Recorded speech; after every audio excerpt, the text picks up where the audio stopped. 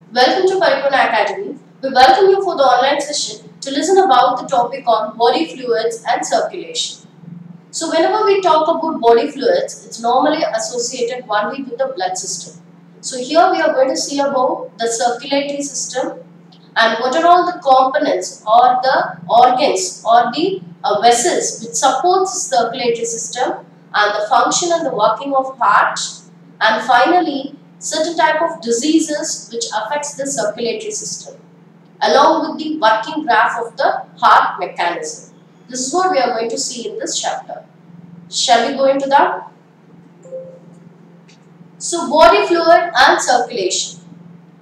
So introduction of this chapter normally includes with the circulatory system which comprises of your heart, arteries and the arterioles and finally the capillaries.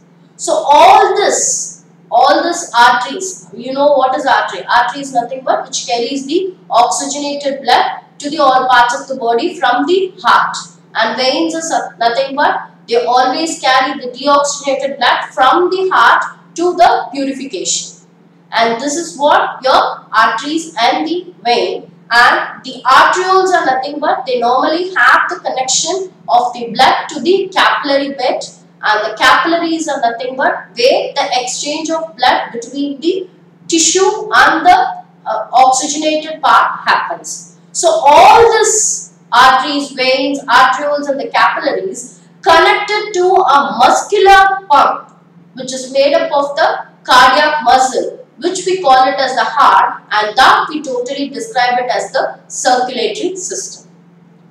So this circulatory system is mainly of two types that is single circulation and double circulation. So whenever you talk about the single circulation it is nothing but the blood flows through only the heart that is only one type of circulation alone will happens in the particular type of the heart. That we call it as single circulation. So whenever you talk about the double circulation, the blood flowing through the heart the twice the time. That we call it as double circulation. So for the single circulation, you can take the example of the invertebrates, which you can see it in the image, the first part of the image. That is underdeveloped organism where only one type of the circulatory fluid happens. Whereas the double circulation, you can take the example all of your amphibians and the reptiles and including the mammals. So this is about the circulation type. Okay, so this based upon this you you'll be learning about the hepatic portal system which it is coming at the end of this session.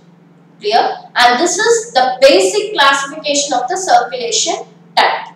And now we are going to classify the circulation based upon the transportation medium. So there is another type of classification under the circulatory system based upon the transportation medium which is nothing but your water vascular system and the blood vascular system.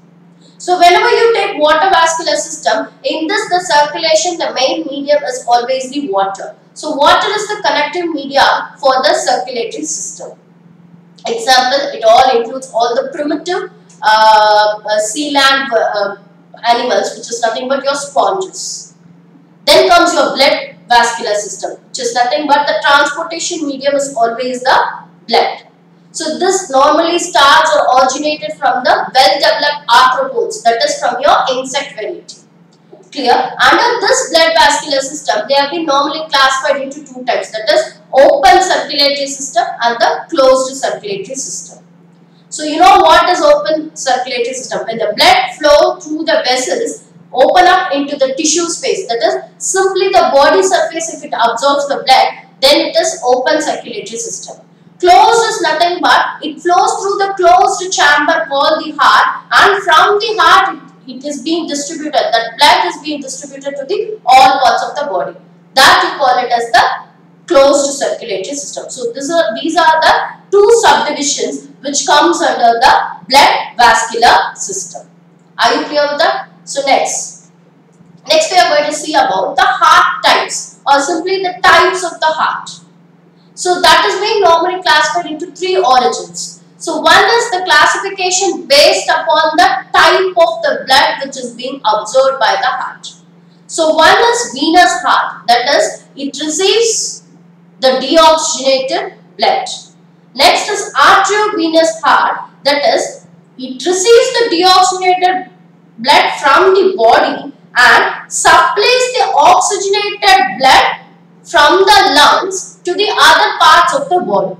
So that is arteriovenous heart which is being present in all amphibians. Okay, so the venous, venous heart is normally will be present for all the uh, uh, uh, animals which is having more venom. Okay, so next on the basis of origin of impulse. So we know what is impulse, nothing but the heartbeat. So based upon the origin of that heartbeat, it is being classified into two types that is myoclonic and neurogenic. So, if a heartbeat is originated from the muscle, then it is said to be myoclonic, simply like our mammals. And neurogenic is nothing but the heartbeat which is being originated from the nerves. This includes all the animals from your chordae family. Clear? So, next classification is the classification on the basis of heart type classification on the basis of the structure.